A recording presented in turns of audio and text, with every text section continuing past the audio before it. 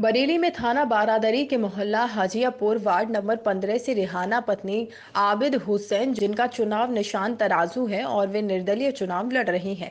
प्रत्याशी रिहाना पति आबिद हुसैन ने आज जनसंपर्क रैली निकाली, जिसमें जनता का समर्थन देखकर रेहाना पति आबिद हुसैन गदगद हो गए। हाजियापुर वासियों ने फूल मालाएँ पहनाकर प्रत्याशी रिहाना का जोरदार स्वागत किया और भारी मतों से जीत का भरोसा दिलाया। बताते चले की थाना बारादरी के मोहल्ला हजियापुर वार्ड नंबर 15 में आज रैली निकाली, जिसमें जनता ने बढ़ चढ़कर हिस्सा लिया और उन्हें जीत का आशीर्वाद दिया और उनका मनोबल बढ़ाया। हजियापुर वासियों ने बताया कि आपने समाज का काफ़ी काम किया है, इसलिए जनता आपके साथ है।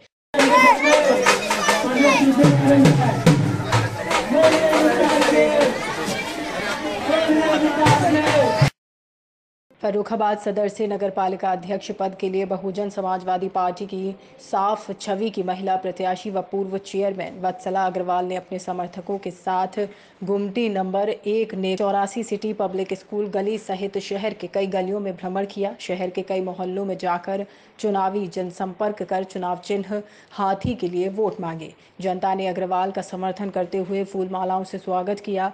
बड़े बुज़ुर्गों ने माला पहनाकर अग्रवाल जी का स्वागत किया और वोटरों ने कहा कि पिछली बार की तरह इस बार भी आप ही नगर पालिका की कुर्सी पर बैठेंगी।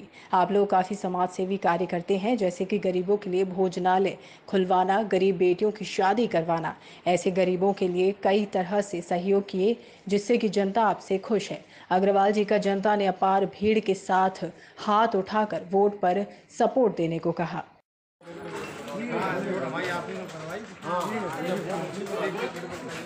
ठीक है। फर्रुखाबाद नगर पालिका परिषद से कर्मठ जुझारू शिक्षित ईमानदार समाजवादी पार्टी की महिला प्रत्याशी व पूर्व विधायक विजय सिंह की पुत्र वधु ने अपने समर्थकों के साथ ठंडी सड़क रेलवे रोड, रेलवे स्टेशन होते हुए चौक लोहाई रोड पर चुनाव चिन्ह साइकिल के लिए वोट मांगे। वोटरों ने जगह जगह समाजवादी पार्टी प्रत्याशी एकता सिंह का फूल मालाओं से जोरदार स्वागत करते हुए समर्थन किया। वोटरों ने कहा कि नगर में परिवर्तन लाना है और इस बार एकता सिंह को अध्यक्ष बनाना है। इसी के साथ एकता सिंह जिंदाबाद समाजवादी पार्टी जिंदाबाद के नारे समर्थकों ने लगाए। वहीं चौक पर पगड़ी पहनाकर एकता सिंह का जोरदार स्वागत किया गया।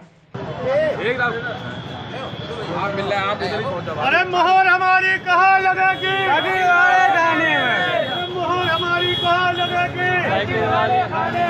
फर्रुखाबाद नगर पालिका परिषद अध्यक्ष पद से कांग्रेस प्रत्याशी मुमताज़ बेगम ने अपने समर्थकों के साथ बजरिया, बड़ा खेल, दिलावर, जंग, पलरिया, पल्ला, असगर रोड सहित शहर के कई मोहल्लों में भ्रमण कर घर घर जाकर वोटरों से चुनाव चिन्ह, हाथ के पंजे के लिए वोट मांगे और कहा कि एक बार अपनी बहन को जिताना है। अगर आप लोगों ने मुझे मौका दिया तो नगर पालिका द्वारा जो भी सुविधाएँ मिलेंगी, वे निःशुल्क सभी को दी जाएँगी। भ्रष्टाचार से बचना है तो एक, एक बार पंजे का साथ देना होगा। वहीं उनके पति शाकिर अली मंसूरी ने भी सभी वोटरों से हाथ जोड़कर खुलकर समर्थन करने के लिए अपील करते हुए कहा कि इस बार परिवर्तन करिए जिससे विकास की गंगा बहेगी। लोगों ने अध्यक्ष पद के प्रत्याशी मुमताज़ बेगम का फूल मालाओं से जोरदार स्वागत किया।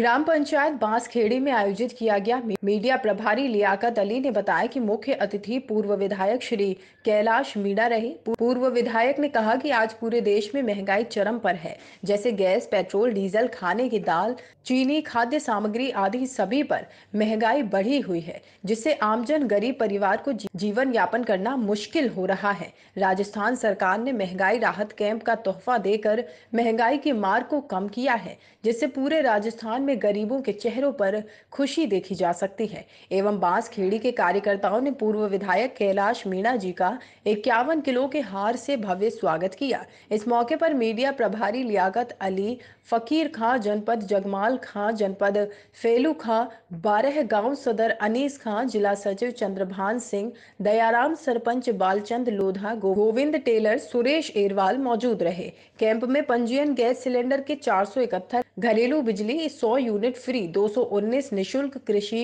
बिजली 2000 के 50 अन्नपूर्णा फ़ूड पैकेट के एक एक नरेगा ग्रामीण योजना गारंटी योजना के आठ सौ उनतालीस, सामाजिक सुरक्षा पेंशन के छह मुख्यमंत्री कामधेनु योजना के 1000 चिरंजीवी स्वास्थ्य योजना के 1260 चिरंजीवी दुर्घटना बीमा योजना के 1260 पंजीयन हुए।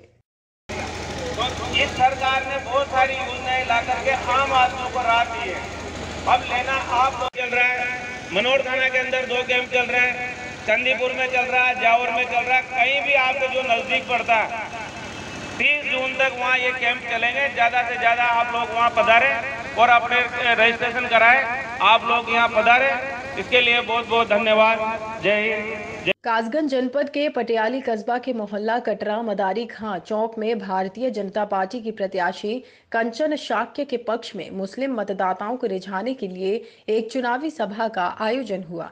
कार्यक्रम की अध्यक्षता हाजी रसूल अहमद ने की और संचालन हाजी यूनिस अली मंसूरी द्वारा किया गया। कार्यक्रम के मुख्य अतिथि के रूप में चुनावी सभा को संबोधित करने के लिए भारतीय जनता पार्टी से अल्पसंख्यक आयोग उत्तर प्रदेश दर्जा प्राप्त राज्य मंत्री अशफाक सैफी पहुँचे, जहाँ उन्होंने चुनावी सभा को संबोधित किया। चुनावी सभा में मुस्लिम समाज के सैकड़ों लोग शामिल रहे।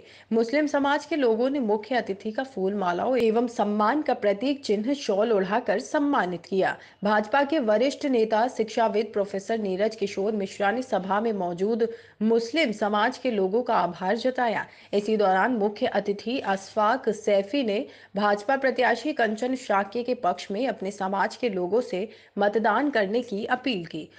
पटियाली एक ऐतिहासिक शहर है। अमीर खुसरो का शहर है। गंगा जमनी तहजीब यहाँ बसती है।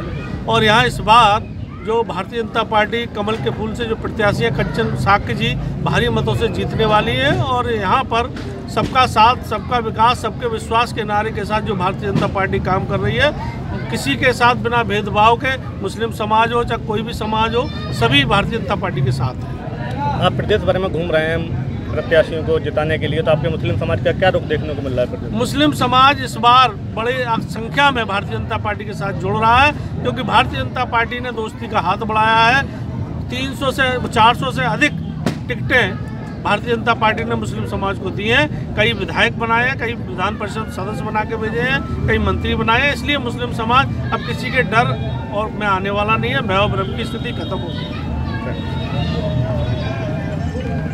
कोटा ज़िले की सांगौद पंचायत समिति की सोमवार को हुई साधारण बैठक में सरपंच संघ विभिन्न मांगों को लेकर पंचायत समिति सांगौद की साधारण बैठक का बहिष्कार किया। व बहिष्कार के बाद सरपंच संघ अध्यक्ष सुरेश कुमार मेहता, महामंत्री अमृत कुमार, सरपंच सुशीला कंवर के नेतृत्व में सांगौद प्रधान जयवीर सिंह जी को ज्ञापन दिया। ज्ञापन देने वालों में सरपंचों के साथ पंचायत समिति सदस्य, जिला परिषद सदस्य महावीर सिंह खर्क नाखेड़ी साथ रहे।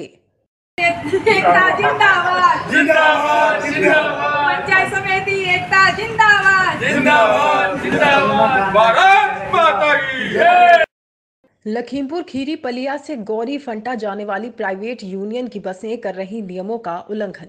आपको बता दें कि पलिया से गौरी फंटा जाने वाली प्राइवेट बसों में क्षमता से अधिक लोगों को बिठाकर मौत की दावत दी जा रही है। प्राइवेट बसों के मालिक रुपयों के लालच में लोगों की ज़िंदगी को दांव पर लगा रहे हैं। ये सब देखते हुए भी पुलिस और प्रशासन के लोग कोई कार्यवाही नहीं कर रहे हैं, जिससे लगता है कि पुलिस व प्रशासन के लोग किसी बड़े हादसे के इंतज़ार में बैठे हुए हैं।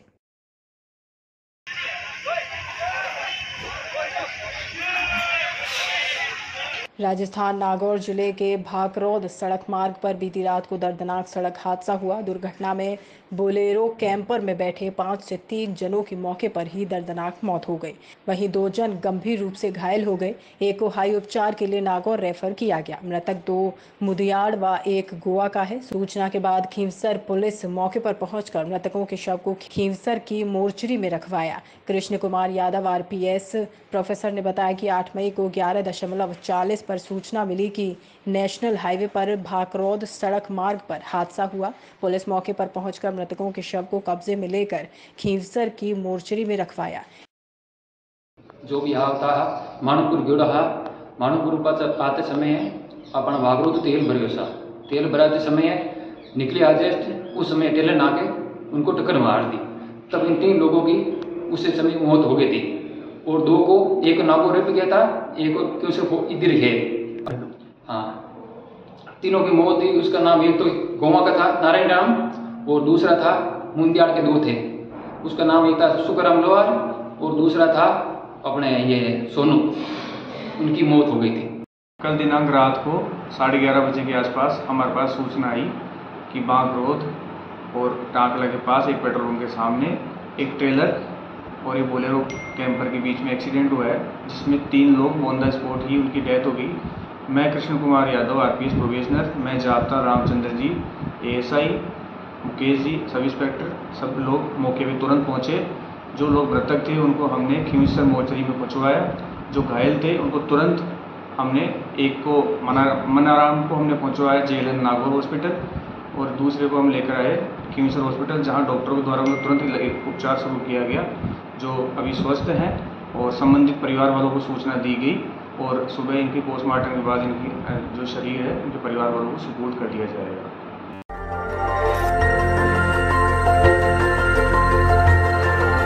देखते रहिए डीबी भारती समाचार। नज़र हर खबर पर।